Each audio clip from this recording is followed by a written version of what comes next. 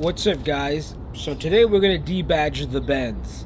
So we're gonna use a little glue gun, a heat gun, as well as you can use floss, but I have some braided fishing line. So let's go ahead and debadge this car. And the cool thing about this gun, it has a has a low. I think it's about 700 or 500. Um, I'll put the details in the description. And I got this off of Amazon. Wagner had some good reviews. So basically, we'll just uh, do what we did on the other side. Heat up the emblems a little bit. And remember guys, it doesn't take that much heat to get this glue to get soft. As you see, this uh, braided line is cutting through it pretty fast.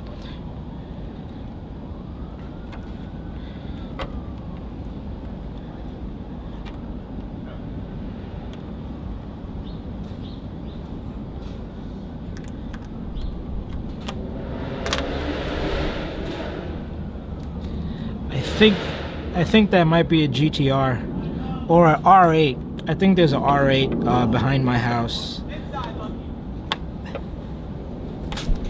There's this uh, paint shop. I think it's like a acid green R8. I'm not sure if it's a V8 or a or a 10.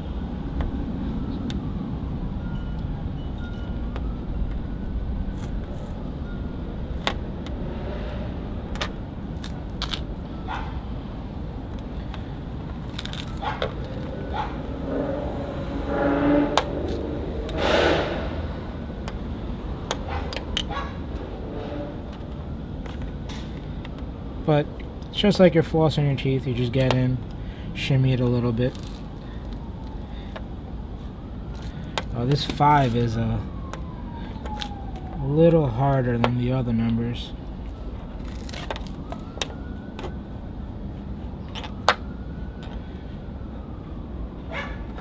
And you want to use either if you're using a floss or a braided line, you want to use a long piece because what happens is the glue gets on here and then uh, it gets a little harder to take off.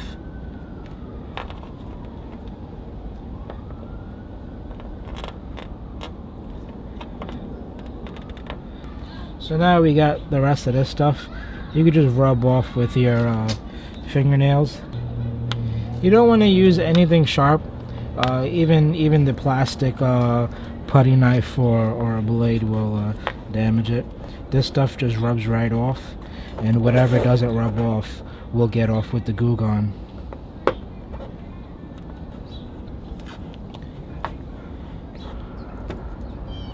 So with this Goo Gone, I put it on the paper towel, and I just want to dab it on, just to get a nice amount on before I come back and uh, wipe it off with a microfiber cloth. You don't want to wipe it with the paper towel. Um, the paper towel is a little hard and you'll get some fine scratches. Um, on, on a white car, you really won't see it that much, but on a black car, you definitely will. So now we could uh, put some Goo Gone on this uh, microfiber cloth and let's get the rest of the goo off.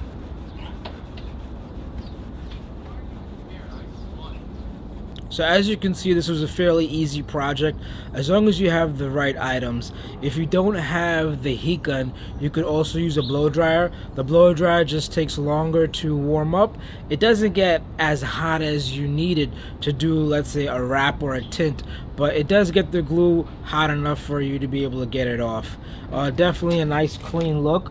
Um, but I do recommend if you do do this, uh, emblems have been on your cars for a couple of years, uh, and there hasn't been no wax to protect the paint. So the paint's going to be a little bare, so definitely wash the car as well as put a nice coat of wax on it.